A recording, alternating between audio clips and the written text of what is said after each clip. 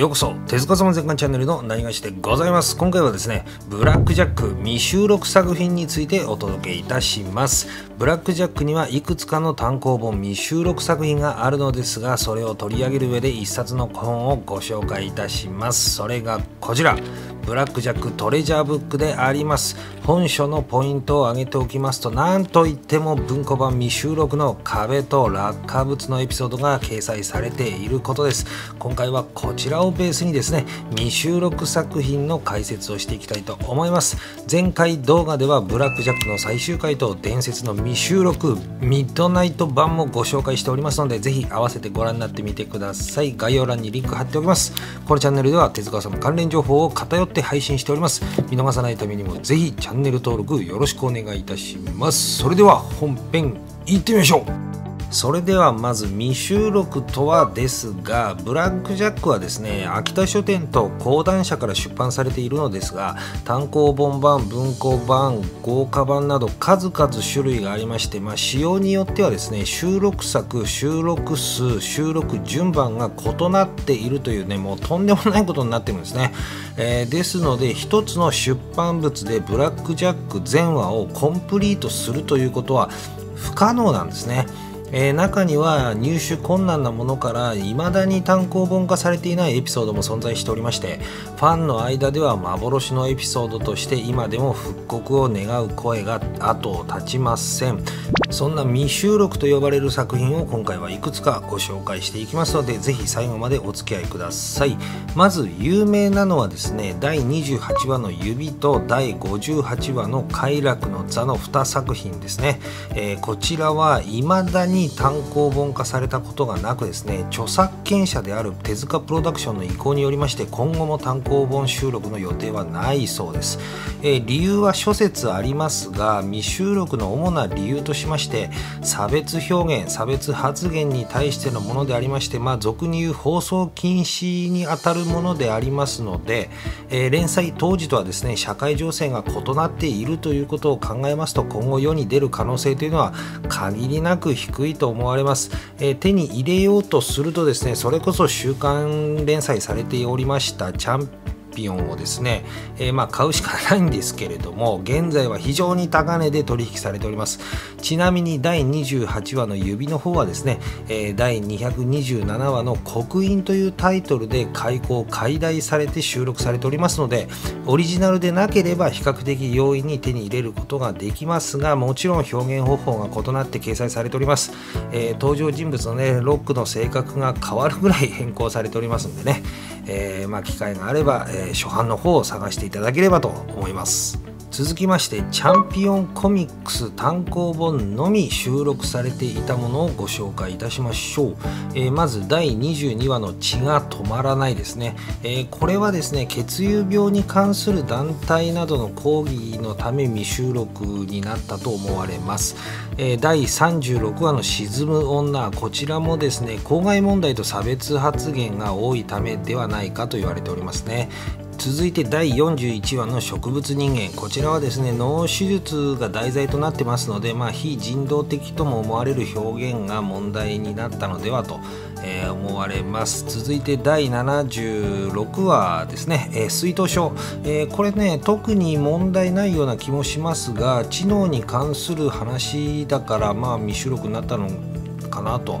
思います、えー、続きましては第128話の最後に残るものですね、えー、これは六つ子全員がですね未熟児であって、まあ、他の弟からね、えー、の死体から移植手術を行うということでまあこれ表現であったりねセリフというものに、まあ、かなり問題があったそうです、え、続いて第139話の魔女裁判ですね。これはねなかなかに描写が強烈です、えー、公害病によりですね危険になった子供えー、宗教裁判、リンチ、偏見、差別、まあ、科学と迷信がぶつかるというね、非常に問題作になっております。えー、機会があればね、ぜひ読んでみてほしいと思います。以上がチャンピオンコミックス版のみ収録されているものでありますが、41話の植物人間のみ、えー、初期出版のね、ものしか収録されていないんですね。えー、初期というのがね、どのぐらいなのかが微妙なんですが、えー、15釣りか18釣りぐらいまでらしいですね。のものは収録されていて、え、その後のものにはね、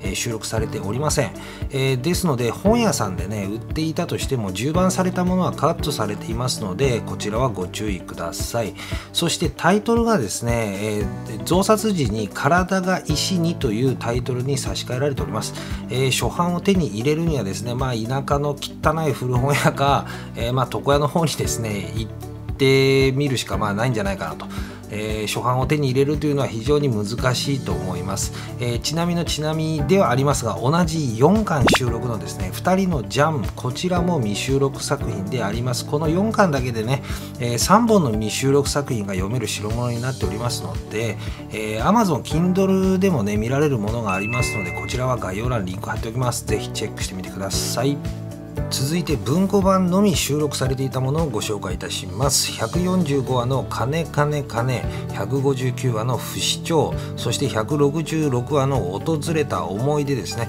え、こちらは文庫版17巻に集中しておりますのでこれ1冊手に入れればね一気に読むことができます、えー、手塚治虫文庫全集の場合は7巻と8巻に収録されております、まあ、他にもですねまだ未収録作品っていうのがあるんですけれどもそこまで入手困難ではないのでここでは全部ご紹介いたしません。え概要欄にリンク貼っておきますのでぜひチェックしてみてください。さあそしてですね今回ご紹介のトレジャーブックこちらに収録されている未収録でありますが、え37話の2人のジャン172話の壁209話の落下物ですね。この3編が収録されております。2人のジャンはですね前週にも収録されており比較的手が届くエピソードでありますが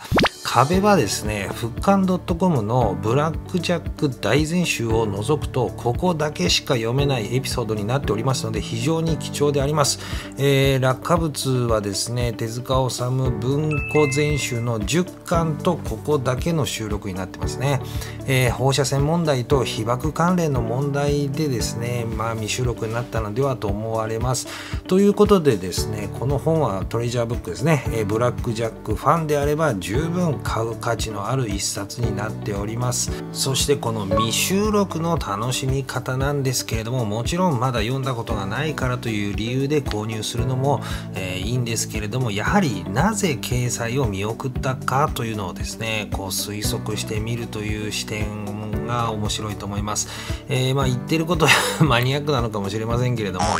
あこれ確かにやばいなとかね、えー、手塚治虫すげえとこ切り込んでんなとかね。まあいわくつきである理由をですねこうピンポイントで楽しむというのもね手塚治虫のこの未収録の楽しみ方でないではないかと思います、えー、手塚治虫という作家はですね漫画というジャンル自体を押し上げてきた作家でもありますので常にその時代のね表現のキワキワを攻めていたことでも有名であります、えー、性の表現暴力障害差別などね現代の物差しで見てしまうと完全アウトなものもね、えー、当時の表現の幅としてどこまで耐えうるかっていうね常に模索実験して描いておりました、えー、そのチャレンジの繰り返しによってね今日の漫画文化におけるさまざまな表現アプローチが広まっていくようになったわけでありましてまあその狭間でね、えー、適正でないと判断された多くがこの未収録作品であります。その中で自主的にに取り下げたものも存在しますけれども、えー、まあ、医療の進化によりストーリー、えー、ストーリーがね合わなくなったというのもあるそうです、えしかしねただ単に安直な理由で掲載を取りやめたということではなくその背景に見え隠れする手塚先生の表現への思いというのをですねこう感じ取りながら読んでいくと、まあ、より一層未収録作品への理解が深まるのではないかと思います。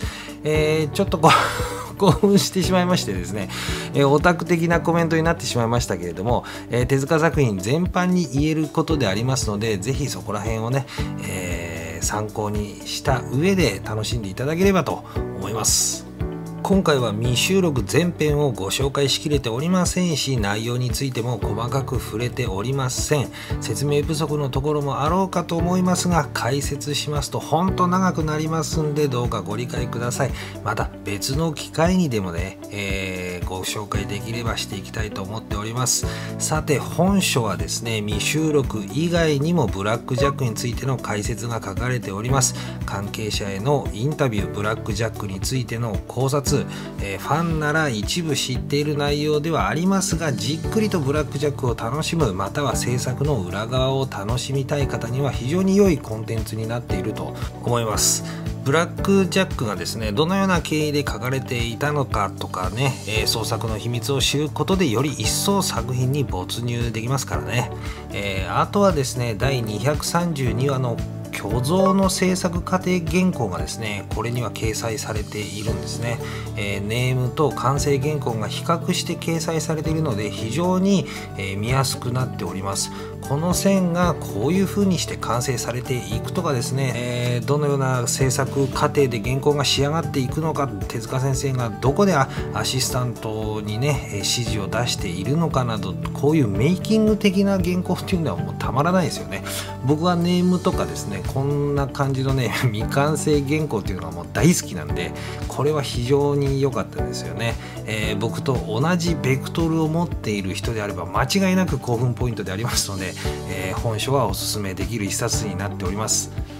はいというわけで今回はブラックジャック未収録作品についてお届けいたしました。今回ご紹介している作品は全て概要欄にリンク貼っておきますので気になる方は是非チェックしてみてください。手塚作品のですね未収録作品は非常に奥が深いんでね、えー、こう簡潔になかなかこう説明するのは難しいんですけれどもまた機会があればね、えー、動画の方でご紹介していきたいと思います。このチャンネルでは手塚さんの関連情報を偏って配信しております。見逃ささないためにもぜひチャンネル登録よろしくお願いいたします。それでは最後までご視聴くださりありがとうございました。ではまた次回次の動画でお会いしましょう